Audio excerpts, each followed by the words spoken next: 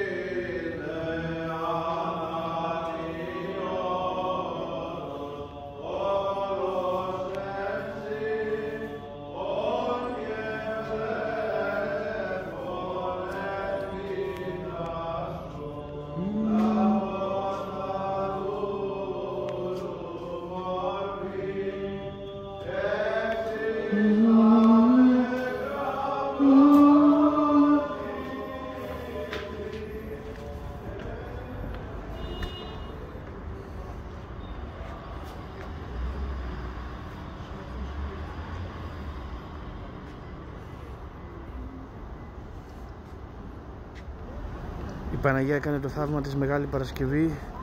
ταρακούνησε τα νερά εδώ σε αυτόν τον ήσυχο κεράτιο κόλπο και έδιωξε τους κατακτητές και από τότε ψ- λειτουργεί κάθε Παρασκευή η εκκλησία αυτή εδώ στην Κωνσταντινούπολη η Παναγία η Βλαχέρνα περμάχος στρατηγός βοήθησε για να μην έδιωξε τους εχθρούς και γράψαν το ακάθεστο ύμνο που ξέρουμε όλοι μας εδώ στην Κωνσταντινούπολη επισκεφτείτε αυτόν τον ιερό ναό Παναγία των Βλαχερνών. Γεια σας.